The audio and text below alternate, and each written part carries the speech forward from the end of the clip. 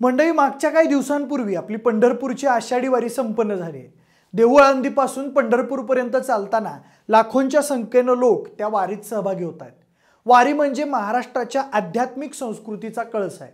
त्यामुळे महाराष्ट्रात त्याची खूप चर्चा होते. पण सध्या दुसऱ्या एका मोठ्या यात्रेची देशात खूप चर्चा होते. आणि ती म्हणजे हरिद्वारची कावड यात्रा. आता ती कावड यात्रा म्हणजे नेमकं काय? ती कशी साजरी होते?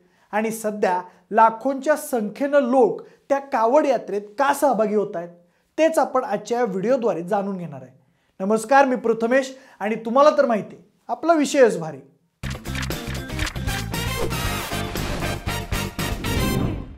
तर आता सुरुवातीला आपण कावड यात्रा म्हणजे नेमकं काय आणि तिचं स्वरूप कसं असतंय ते पाहूयात. म्हणजे या कावड यात्रेला उत्तर भारतात कंवर यात्रा म्हणून ओळखलं जातं. त्या यात्रेचा उगम हिंदू पुराणकथा आणि धर्मग्रंथांमध्ये आहे असं अभ्यासकांचं म्हणणं आहे. आता आपण सुरुवातीला या कावड यात्रेचं स्वरूप जाणून घेऊया.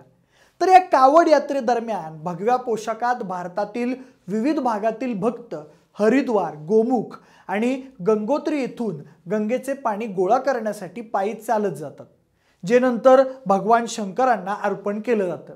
सजवलेल्या बांबूंच्या काठीवर टांगलेली पाण्याने भरलेली दोन मातीची भांडी ते भक्तगण घेऊन जातात.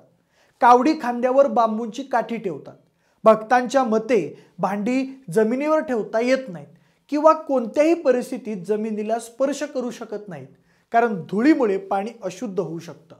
त्या यात्रेची तारीख दरवर्षी वेगवेगळी असते. यंदा त्या यात्रेची सुरुवात चार जुलैपासून सुरू झाली आहे.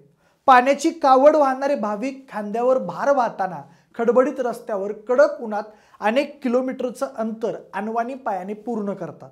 आपल्या वारीत जसं उन्हात चालणाऱ्या वारकऱ्यांना आजूबाजूच्या गावातली लोक खाण्यापिण्याच्या वस्तूंची सेवा देतात अगदी सेम तसंच कावड यात्रेच्या मार्गावर चालणाऱ्या भाविकांनाही लोक सडळ हाताने मदत करतात.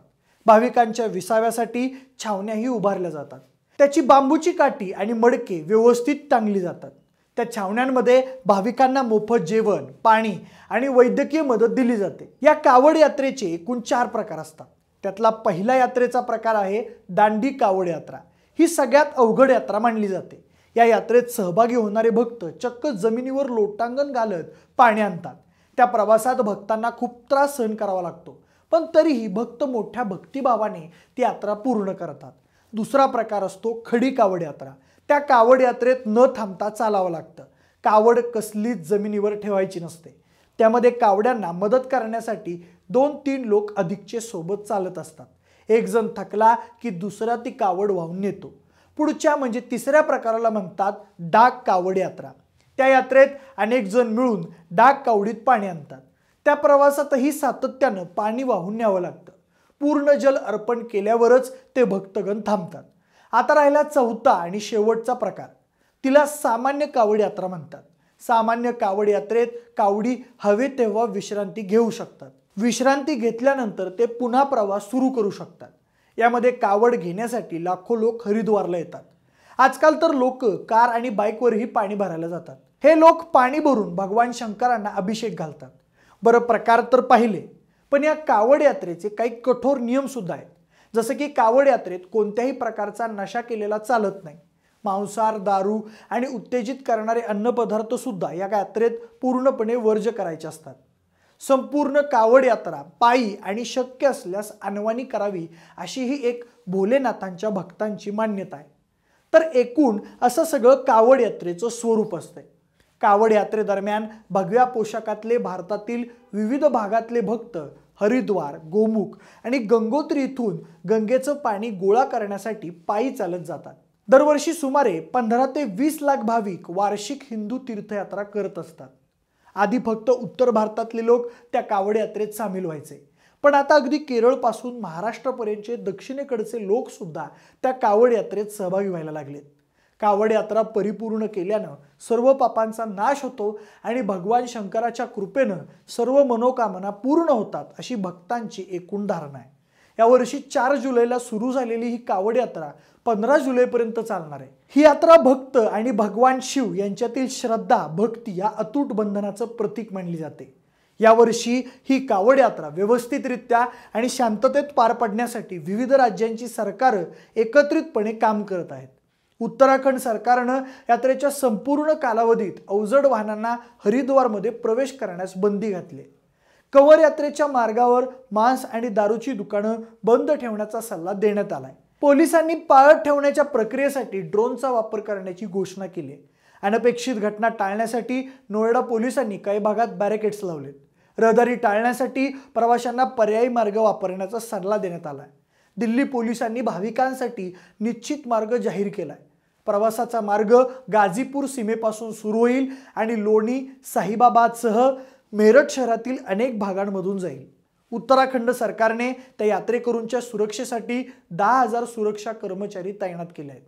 कावड यात्रेच्या संपूर्ण मार्गावर सी सी टी व्ही बसवण्यात आले यात्रेचं निरीक्षण प्रभावीपणे सुनिश्चित करण्यासाठी पश्चिम उत्तर प्रदेशची पाच झोनमध्ये विभागणी करण्यात आली.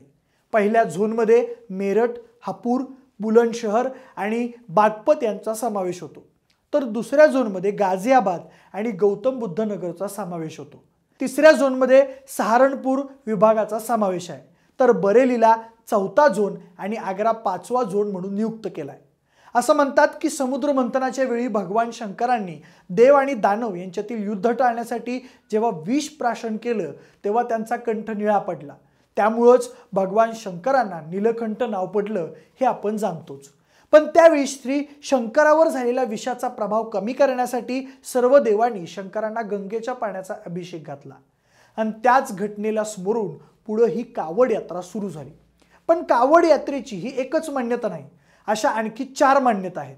त्या आपण थोडक्यात जाणून घेऊ. त्यापैकी एक मान्यता म्हणजे भगवान परशुरामांनी सगळ्यात पहिल्यांदा ही कावड यात्रा सुरू केली. काही जणांच्या म्हणण्यानुसार परशुराम गडमुक्तेश्वर धामवरून गंगाजल घेऊन आले आणि त्यांनी युपीच्या बागपत जवळ वसलेल्या महादेव मंदिरात येऊन श्री शंकरांना त्याचा अभिषेक घातला. त्यावेळी श्रावण महिना सुरू होता. मग तेव्हापासून प्रत्येक वर्षी श्रावण महिन्यात ही कावड यात्रा सुरू झाली. आज सुद्धा लाखो भक्त गडमुक्तेश्वर धामवरून कावडीत गंगाजल भरून आणतात. आणि महादेवांना अभिषेक घालतात. महादेवांना गंगेच्या पाण्याचा अभिषेक घालून त्यांचा आशीर्वाद प्राप्त करणं हाच मुख्य कावड यात्रेचा हेतू असतो. यात्रेची दुसरी मान्यता आनंद रामायणात मिळते. त्यात असा उल्लेख केला आहे की भगवान श्रीराम कावड व्हायचे आणि त्यांनी बिहारच्या सुलतानगंज भागातून गंगाजल आणून बैद्यनाथ ज्योतिर्लिंगांना श्रावण महिन्यात अभिषेक घातला होता. तीच परंपरा पुढे चालत राहिली आणि कावड यात्रा संपन्न केली जाऊ लागली. आता तिसरी मान्यता पाहू. प्राचीन ग्रंथात लिहिल्यानुसार श्रीराम नाही तर चक्क रावण आधी कावडीनं पाणी वाहायचं काम करायचा. समुद्र मंथनावेळी जेव्हा भगवान शंकरांनी हलाहल विष प्राशन केलं तेव्हा त्यांना काही नकारात्मक शक्तींनी गाठलं मग पुढं रावणानं श्री शंकरांना त्या नकारात्मक शक्तीपासून मुक्ती देण्यासाठी कावडीने गंगेचं पाणी आणून भगवान शंकरांना अभिषेक घातला. त्यामुळं श्री शंकरांची नकारात्मक शक्तीपासून मुक्ती झाली आणि तेव्हापासूनच ही कावड यात्रेची परंपरा सुरू झाली. यापुढे सांगितली जाणारी चौथी मान्यता अशी की त्रेतायुगात श्रवणकुमार उर्फ श्रावणबाळ यांनी ही कावड यात्रा सुरू केली. श्रावणबाळ यांनी त्यांच्या आंधळ्या मातापित्यांना कावडीत बसून त्यांची हरिद्वारमध्ये गंगा स्नान करण्याची इच्छा पूर्ण केली. त्यानंतर माघारी येताना त्यांनी आपल्यासोबत गंगाजलही आणलं. त्या घटनेनंतर दरवर्षी ही कावड यात्रा सुरूच राहिली. तर एकूण अशा हरिद्वारच्या कावड यात्रेबद्दल लोकांच्यात मान्यता आहेत पण मान्यता अनेक असल्या तरी लोकांच्या मनात फक्त भोलेनाथांना भेटण्याचीच इच्छा असते हे मात्र नक्की. जशी आपल्या वारकऱ्यांना आपल्या विठ्ठल भेटीची आस असते अगदी तशी. हिमांशू त्यागी नावाच्या या पोरानं भारत हिंदू राष्ट्र व्हावा म्हणून चौदा जूनला ही कावड यात्रा सुरू केली आहे. एकूण दीडशे किलो वजन खांद्यावर घेऊन तो टोटल दोनशे किलोमीटर अंतर पार करून बरोबर पंधरा जुलैला हरिद्वारमध्ये जल अभिषेक करणार आहे. त्याच्यासारखाच अजून एक जण योगी आदित्यनाथ हे युपीच्या सी एम पदावर कायम राहावेत आणि पुढं जाऊन देशाचे पंतप्रधानही व्हावेत म्हणून कावड यात्रा करतोय. काही जण तर अनवाणीच ही यात्रा करतायत. खरं तर या कावड यात्रेचे काही कठोर नियम सुद्धा आहेत. जसं की कावड यात्रेत कोणत्याही प्रकारची नशा केलेला चालत नाही. मांसाहार दारू आणि उत्तेजित करणारे अन्नपदार्थसुद्धा या यात्रेत पूर्णपणे वर्ज्य करायचे असतात. पण तरीही यंदा काही अतिउत्साहित तरुणांनी त्या कावड यात्रेत नशा करून गाड्यांची तोडफोड केल्याची घटना घडली आहे. सध्या त्या घटनेचा व्हिडिओ व्हायरल होतोय. त्यामुळे प्रामाणिक भावनेनं कावड यात्रेत सहभागी झालेले लोक अशा विकृत तरुणांवर भडकले आहेत. या कावड यात्रेत देशभरातून आलेल्या बहुजन समाजाच्या तरुणांची संख्या सर्वाधिक बघायला मिळते. यावरून एका पत्रकाराने कावड यात्रेवर टीका केली होती.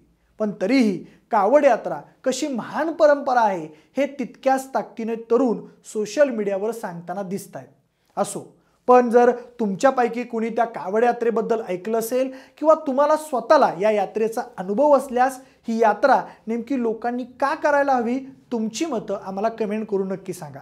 जर व्हिडिओ आवडला असेल तर लाईक आणि शेअर करा. सोबतच आपले विशेष भारी या यूट्यूब चॅनलला देखील सबस्क्राईब करा.